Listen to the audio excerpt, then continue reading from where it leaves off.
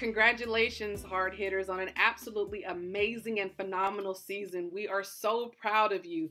I'd love to leave you with some words of wisdom for next season.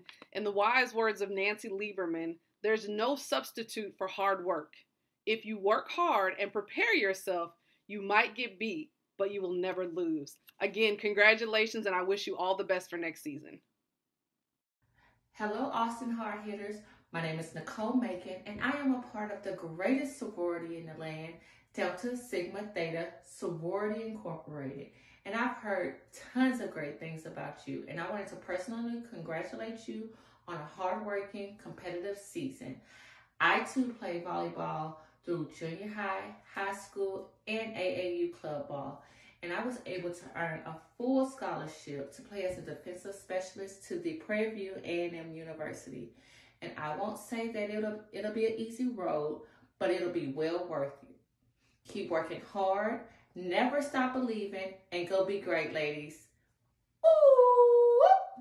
Hello, Hard Hitter Nation. My name is Dr. Dominique Simmons Carvajal, Dr. Dom for short.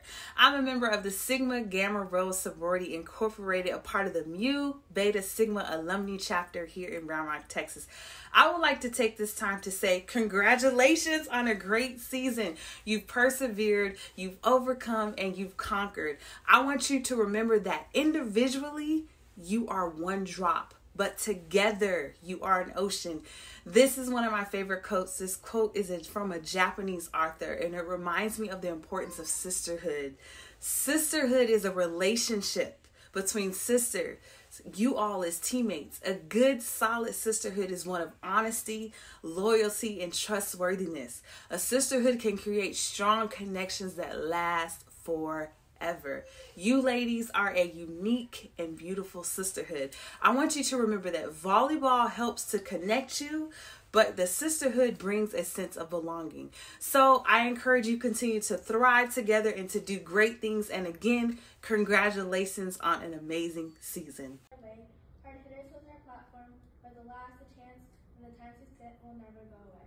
Summer brings times and fall brings whispers close friend will never find 对。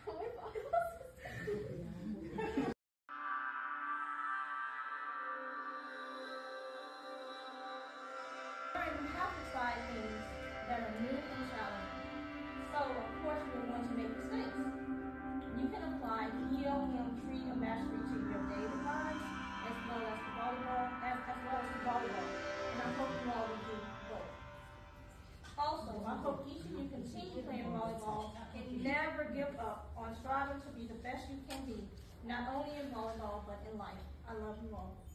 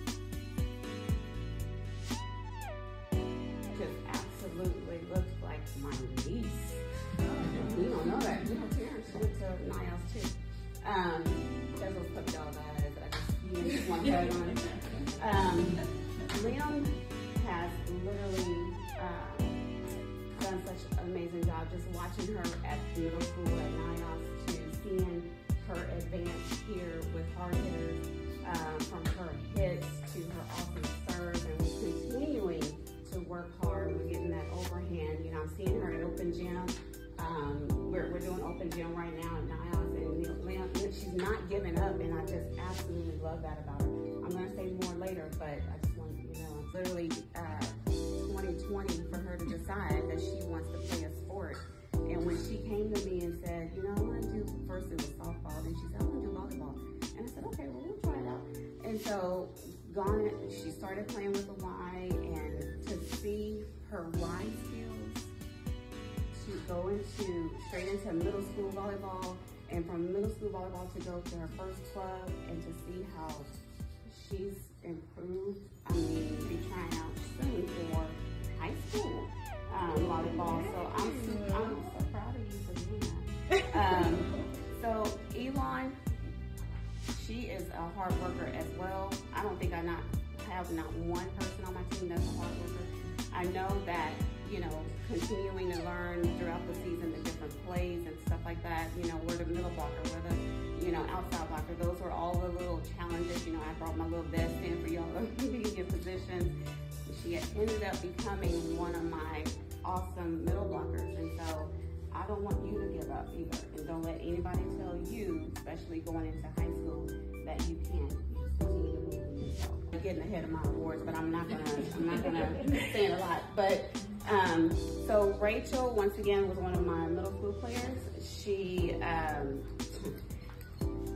Rachel, I'm not gonna even put you on a spot like this, but I'm gonna go ahead and say it. Rachel could barely pass. So to see her now is a sight to see.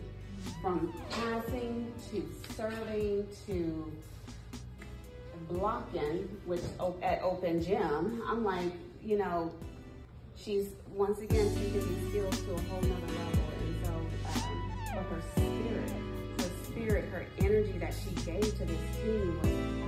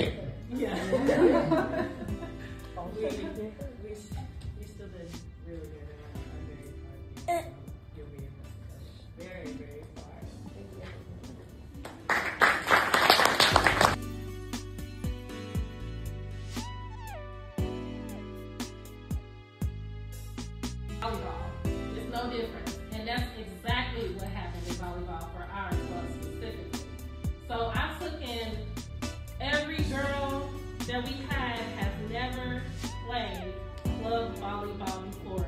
And we gave them that opportunity and I plan on continuing to give them that opportunity to come in, feel like you're coming into a family and that you're welcome and you're gonna learn the game of volleyball. But also the ones who have taken another step up because all of you guys have taken another step up. Like you're not beginners anymore. You're not at that lower stage. So we're gonna work on development plans for you guys. But again, we're still accepting everyone because we believe that you can get developed in any sport. And plus, sports keep you off the games, they keep you off the cell phones, and they keep you off the streets. And that's why we do what we do. So I thank all of you guys.